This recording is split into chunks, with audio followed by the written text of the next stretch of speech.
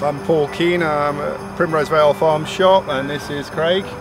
Craig Tenick, Cotswold Fir. We operate a Christmas tree farm here at Primrose Vale, particularly with a rental clause, which is a rental tree Christmas tree program whereby you rent a pot grown tree, have it for the season and return it after Christmas.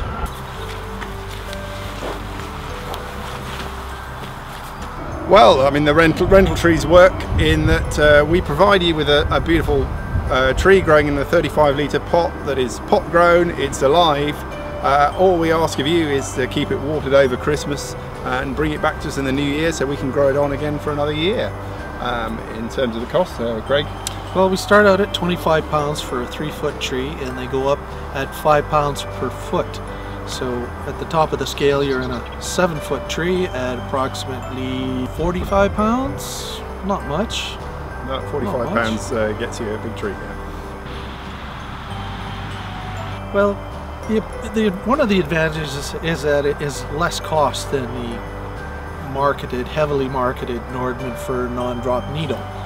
And the second advantage is at the end of the season when all the Nordmann fir non-drops come back and they are looking They've lost their luster and their sheen and they're dried out.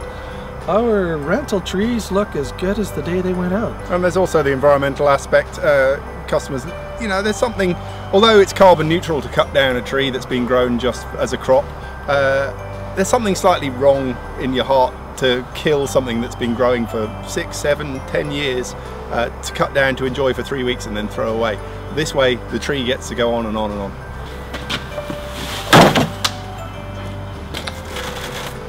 Yeah, people get really into their trees and they've got a name for them and, and uh, you know, they're, they're, really up to see the same tree again. And uh, we're a pick your own farm, so we're very busy in the summer with pick your own strawberries. Uh, and so the farm is open, customers can come down and uh, if they know their tree number and know their name, they can find their tree in the patch and, and say hello to it in the middle of the summer as well. We've rented a tree for the last three years because we just know at the end of Christmas we can just put it back and it goes back in the ground and we're happy with that.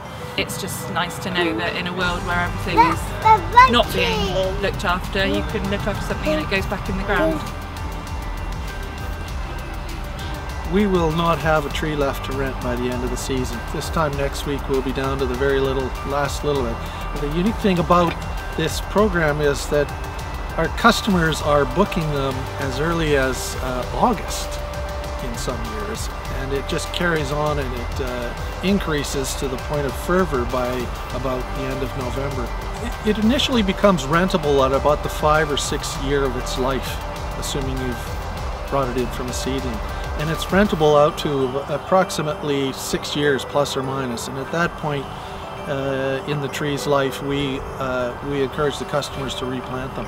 It's a great exciting day out for the kids. They come around, they look at their tree and they, they just whoop it up with excitement.